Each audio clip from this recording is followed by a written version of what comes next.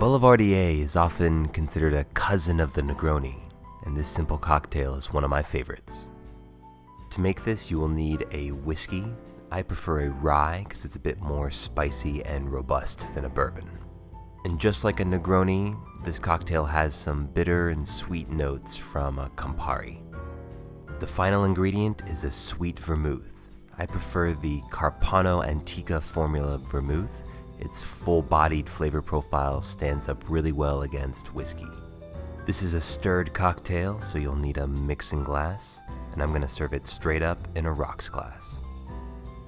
My preferred recipe for the Boulevardier starts with 1 ounce of your Campari, followed by 1 ounce of your sweet vermouth, and finally an ounce and a half of your rye. The Boulevardier, created by a man named Harry McElhone, came into existence in 1927 at Harry's Bar in Paris. As many American bartenders did during Prohibition, Harry left America and went over to Europe. His experience presented him with a wide new range of aperitifs such as the Italian Campari, and he combined that with American bourbon to make the Boulevardier.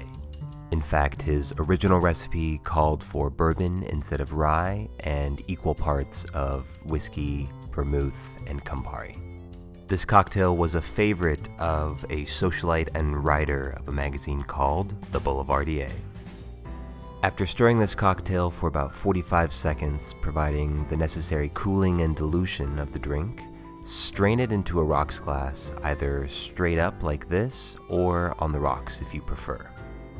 As with most stirred cocktails, I recommend chilling the glass ahead of time by adding some ice water while you're preparing the drink.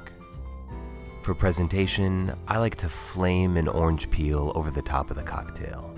If you want to learn more about how this works, you can watch my video on flaming a citrus peel. And that's how you make the Boulevardier, a simple and delicious stirred cocktail that's one of my favorites. Cheers! To get this full recipe, links to the equipment I used, and early access to videos, visit cocktailchemistrylab.com.